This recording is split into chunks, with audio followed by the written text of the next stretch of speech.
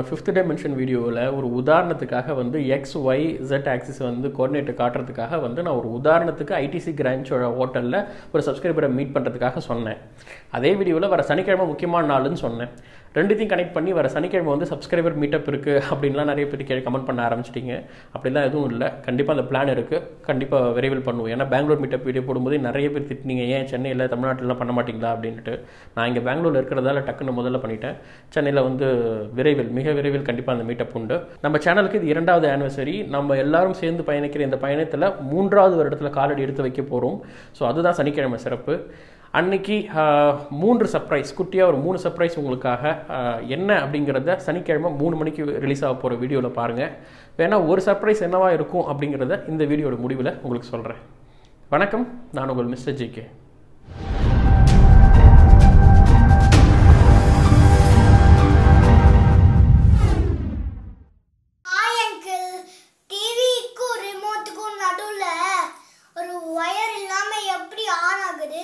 Okay so ஏற்கனவே இந்த மாதிரி ஒரு கேள்வி வந்தது உங்களுக்கு ஞாபகம் இருக்கும்னு நினைக்கிறேன்.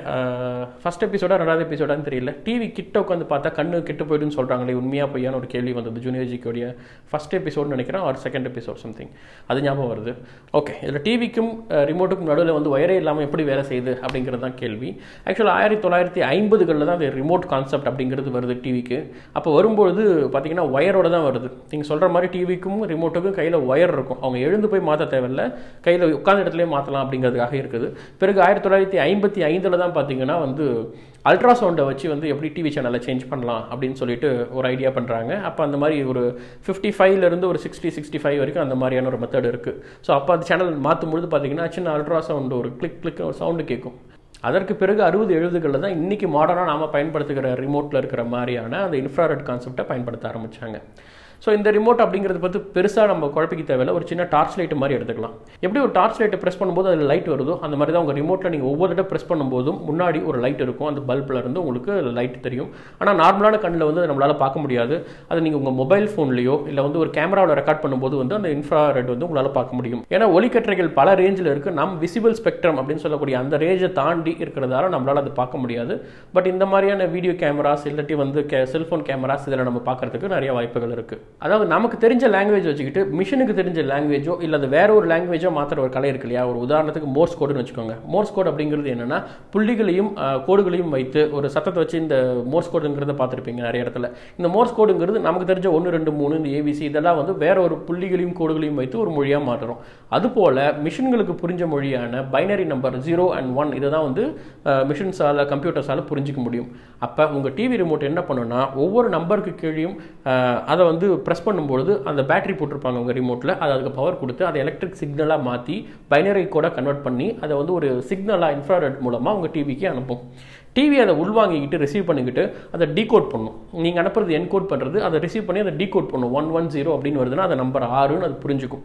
புரிஞ்சுக்கிட்டு அந்த ஆறாவது சேனலுக்கு டிவியை மாற்றும் இது போல் நீங்கள் ஒவ்வொரு தடவை பட்டனை அமுக்கும் பொழுது அதிலிருந்து சிக்னல் வந்து இன்ஃப்ராரெட் மூலமாக டிவி மேலே பட்டு அதை வந்து அது உள்வாங்கி அந்த நம்பருக்கான ப்ராப்பரான டீகோடிங் பண்ணி அந்த சேனலை மாற்றும் ஆனால் ஒவ்வொரு ப்ராடக்ட் டிவிக்கும் ஒவ்வொரு ரிமோட் எப்படி தனித்தனியாக வேலை செய்யுது குழப்பிக்காம அப்படின்னு பார்த்தீங்கன்னா அந்த சிக்னல் பாஸ் ஆகும்போது அந்த ப்ராடக்ட் அந்த டிவைஸ் அந்த ஐடியும் சேர்ந்து பாஸ் ஆகிறதால அந்த மேட்சிங் இருந்தால் மட்டும்தான் இந்த ரிசீவர் ஒர்க் ஆகும்.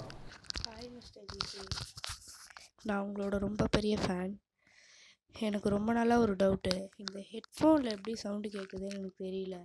இது மட்டும் கொஞ்சம் சொல்ல முடியுமா? தேங்க்யூ ஓகே ரொம்ப சுருக்கமாக சொல்கிறேன் ஒரு இயர்ஃபோன் எப்படி ஒர்க் ஆகுதுன்னு தெரிஞ்சுக்கிறதுக்கு முன்னாடி ஒலி எப்படி நம்ம ரிசீவ் பண்ணுறோம் அப்படின்னு பார்க்கணும். அதாவது சவுண்ட் இந்த சவுண்டை நம்ம எப்படி ரிசீவ் பண்ணுறோம் அப்படின்னா ஒலி அலைகளாக ரிசீவ் பண்ணுறோம் இப்போ ரெண்டு பொருள் எடுத்து இப்படி மோதுறோன்னா ஒரு வைப்ரேஷன் உண்டாகும்.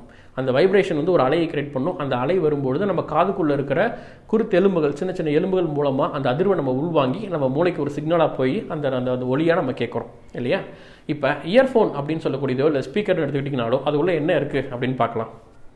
ஒரு இயர்ஃபோன் எடுத்துக்கிட்டிங்கன்னா அந்த இயர்ஃபோனுக்குள்ளே என்ன இருக்குன்னு பார்த்தீங்கன்னா குட்டி ஸ்பீக்கர் ஒரு குட்டி ஸ்பீக்கருக்குள்ளே என்ன இருக்குன்னு பார்த்தீங்கன்னா நார்மலாகவே எல்லா ஸ்பீக்கருக்குள்ளேயும் பார்த்தீங்கன்னா எலக்ட்ரோ மேக்னெட் கான்செப்ட்ஸ் தான் ஒர்க் ஆகும். அது என்ன அப்படிங்கிறத பார்க்கலாம்.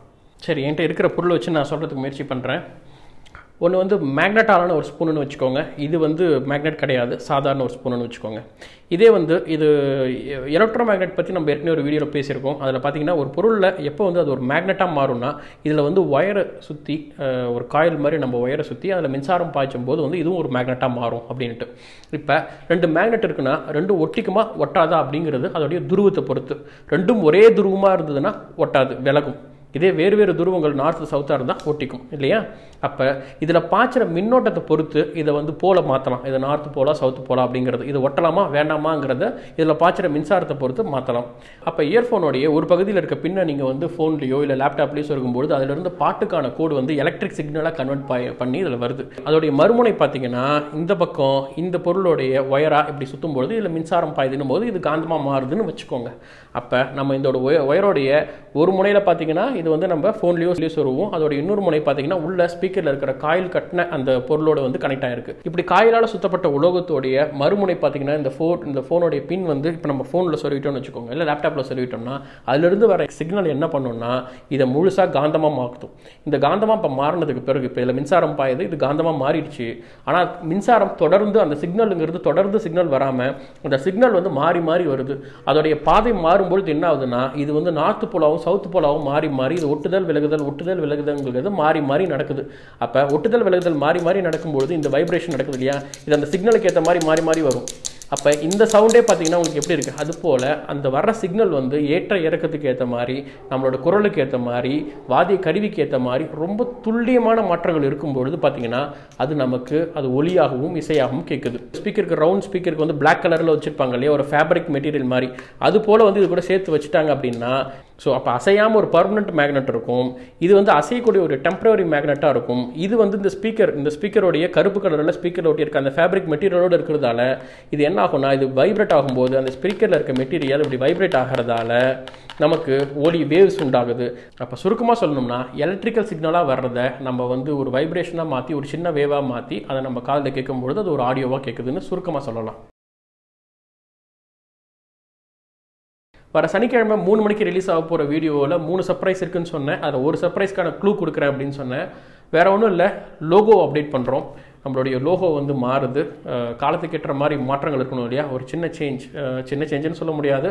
பெரிய சேஞ்சாக கூட இருக்கலாம். ஸோ அது என்ன அப்படிங்கிறத வெயிட் பண்ணி சனிக்கிழமை பாருங்கள் குழந்தைங்களோட இன்ட்ரெஸ்டிங்கான கேள்விகள் இன்னும் நிறையா இருக்குது உங்கள் வீட்டு குழந்தைகளுக்கும் இந்த மாதிரி கேள்வி இருந்ததா நீங்கள் வாட்ஸ்அப் இந்த நம்பருக்கு அனுப்புங்க.